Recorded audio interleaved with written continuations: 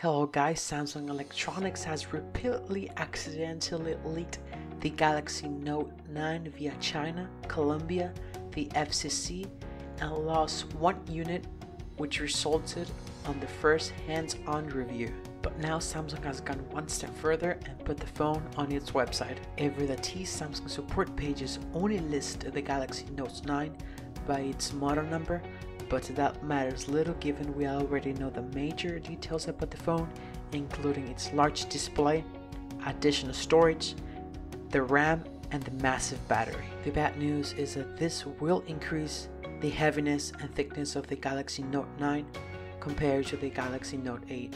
The in-display fingerprint sensor has been postponed onto the more exciting Galaxy S10. The most exciting thing about the Galaxy Note 9 is not the phone itself, it's how the S Pen will work. This alone may well be enough for many users to upgrade, especially the combination with a long overdue big battery upgrade. Samsung has said that the Galaxy Note 9 will focus heavily on the S Pen. The Note 9's S Pen is going to include Bluetooth, suggesting remote control features. Valak does not say what features exactly, but rumors say it might control music playback and timers. It is not certain what the Note 9 will be like, although it's still expected to carry a Snapdragon 485 chip and the next generation Bixby. But knowing how the company works, we wouldn't be surprised if the camera or display are upgraded as well.